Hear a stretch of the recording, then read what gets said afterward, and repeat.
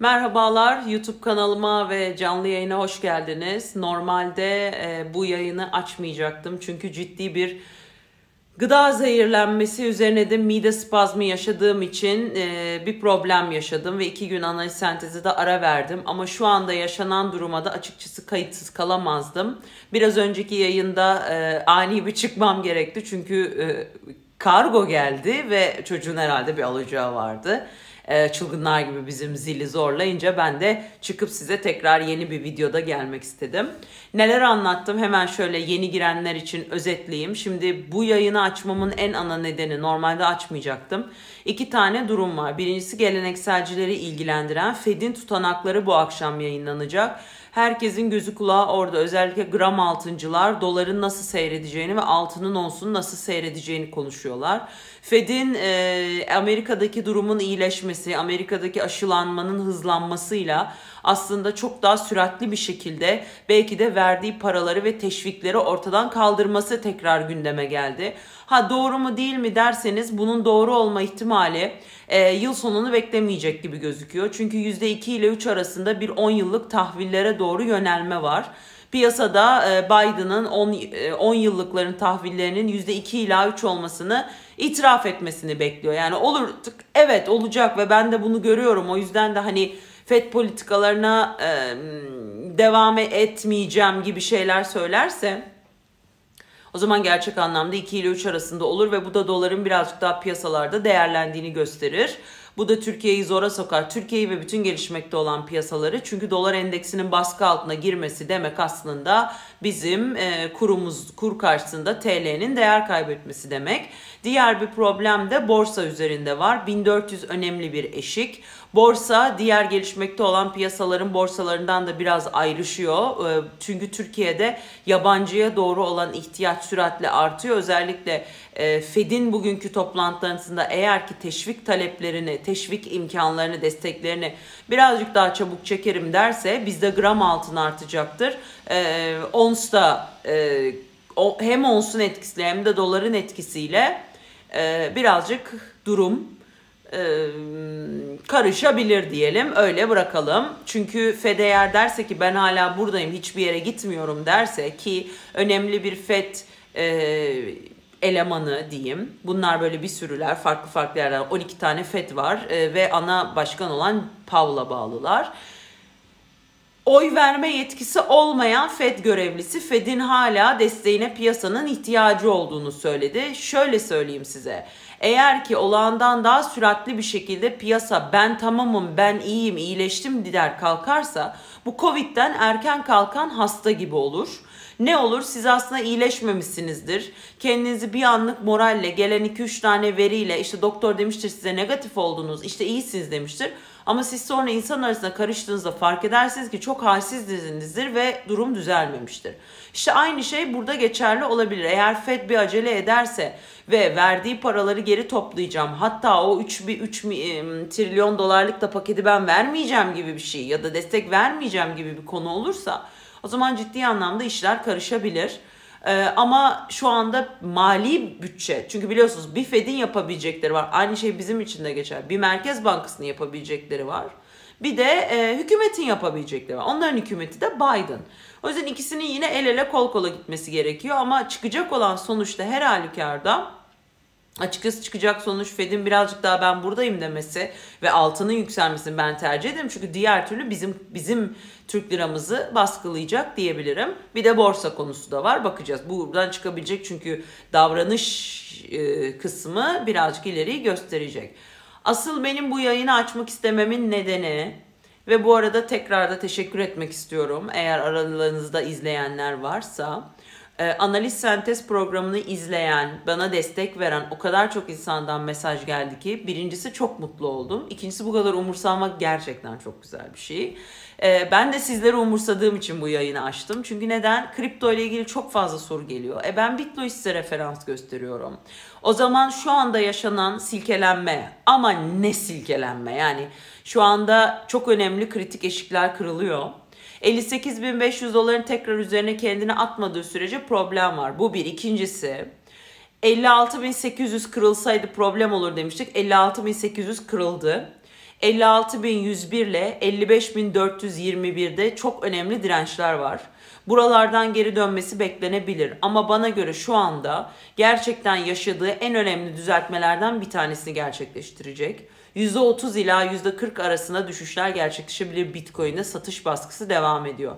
Eğer 56.101 ve 55.471 bandından dönmezse o zaman satış baskısıyla Megafon'un altı olan 42.000 43.000 bile görülebilir. Ama bunlar Megafon'un en altlarıdır. Psikolojik eşik olan 50.000'i kırmak da o kadar kolay değil.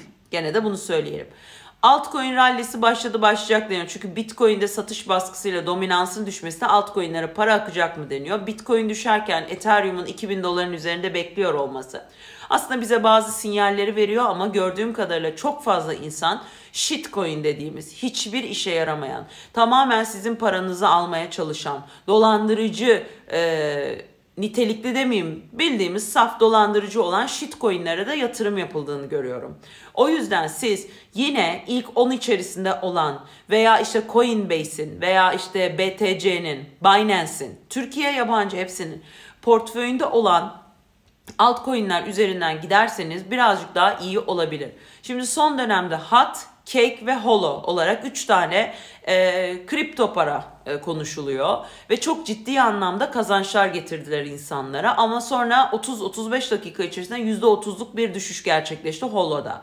O nedenle ne diyoruz? Hiçbir kripto paraya aşık olmayın bu birincisi. Ripple 1 dolara doğru gidiyor. Baktığım zaman listeye sadece Ripple'da bir artış var. Şimdi siz 0.95 oldu diye 1 dolar olana kadar aradaki 5 sentte bile ben kar edebilirim falan deyip yüksek paralarınızı yatırmaya kalkabilirsiniz. Bir anda bir eşik gelir. Bakın 75 sentte de bunu bize yaptılar. Ben ikiye ayırmıştım. Bir 75 sent bir 1 dolar olsun diye. 75 sentte sattığımdan kar ettim. 1 dolar sat 1 dolar olamadığı için o kısmı tamamen çöpe gitti. Ve ben 45 sentten çıktım. Şimdi bunları neden söylüyorum? Bunları farkında olun diye. Ondan bundan duyduklarınızla lütfen bir şey yapmayın ama Ripple şu anda tehlikeli. Dava süreci devam ediyor. Neden Ripple'ın arttığına dair net bir şekilde bir durum olmamakla beraber ee, şöyle söyleyeyim yeni coinler çıkıyor. Bunlar pompalanıyor. İşte Holo, Cake ve Hat gibi. Bunlar pompalanıyor. Ondan sonrasında insanlar bunlara giriyorlar ve belli bir zaman sonra gerekli parayı almış olanlar çıkınca da sizin elinizdeki para da sıfırlanıyor. Aynı şey şu anda Ripple'da da bir şey dönüyor olabilir. Çünkü gerçekten ciddi anlamda bir evet dava sürecinde o kadar da ölümcül bir durum olmamakla beraber e, o kadar da net iyi bir haber çıkıp da işte Ripple şöyle oldu böyle oldu falan filan denilmedi. O yüzden e, açıklamalar var, pozitif yönde açıklamalar var. Bir şeyler iyiye doğru gidiyor ama yine de dikkatli olmak lazım. Bunu kenara ata, e, bunu kenara koyarsak. Diğer taraftan en önemli konu bir şey daha söyleyecektim sizlere. Ha 56.101, 55.471'i aklımıza yazıyoruz.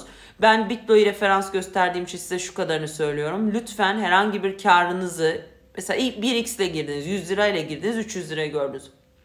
Mutlaka realize edin çünkü gerçekten realizasyonda e, e, realizasyonda ciddi problemler yaşıyor platformlar. O nedenle mesela birisi e, ben bunu hatırlıyorum 75 binine girdi 261 bini gördü çıkana kadar neredeyse parası 200 bin liraya geri düştü. Ama baktığınız zaman işte kazanç devam ediyor satış imkanı vermiyor. O yüzden lütfen dikkatli olun. Ee, çok fazla her şeye yatırım yaptığını açıklayan, çok fazla işte e, her yere sponsor olan platformlara o kadar sıcak bakmayın. Bunu söyleyebilirim. Ee, öneren insanlara lütfen dikkat edin. Para için mi yapıyorlar, dolandırıcılık için mi yapıyorlar bunlara dikkat edin. Ben bunları söylemek zorunda kalıyorum. Çünkü bazen ben mesela araştırıp araştırıp size anlatıyorum ki ben bunu televizyonda da anlatıyorum. Gerçekten eğer televizyonda yanlış bir şey söylesem emin olun YouTube'da söylediğimden çok daha süratli bir şekilde başıma bir şey gelir.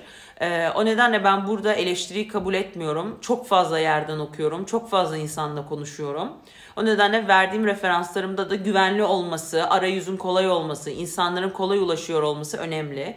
Bitlo'da her türlü coin yok diyorsunuz. Açıkçası hatmış, kekmiş, holoymuş böyle önüne gelen 8000 tane coin koymalarını zaten ben de istemem. Çünkü belli bir e, skalanın üzerindeki şeylere yatırım yapın isterim. O yüzden zaten Bitlo benim için daha önemli.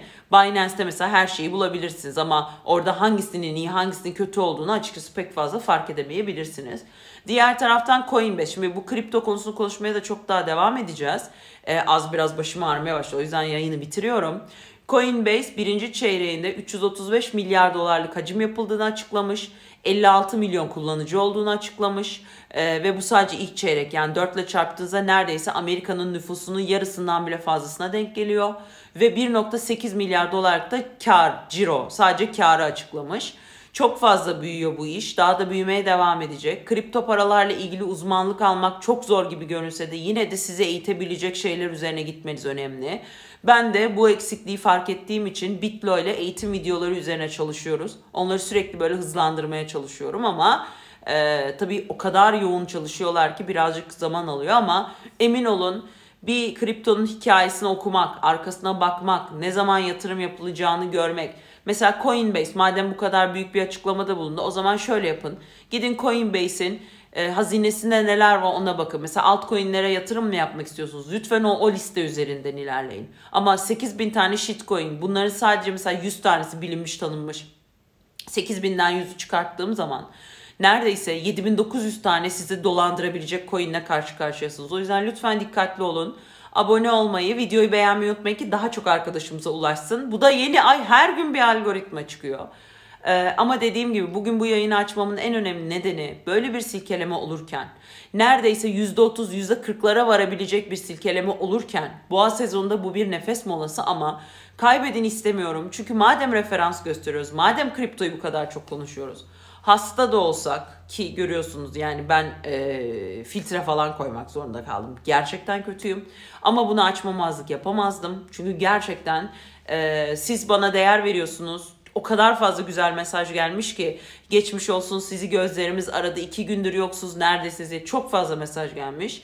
Ee, biricikle vakit geçirin hemen iyileşirsiniz demişsiniz. Çok teşekkür ederim. Ama ben de sizi umursamadan ve bu böyle bir düşüş yaşanırken sizi sahipsiz bırakmamak istediğim için açtım. Çok teşekkür ediyorum. Dediğim gibi abone olmayı, yorum yapmayı ve beğenmeyi unutmayın ki daha çok insana yayılalım. İnsanlar e, çevredeki para kazanmak için yapanlardan değil bilenlerden öğrensin diyorum. Görüşmek üzere.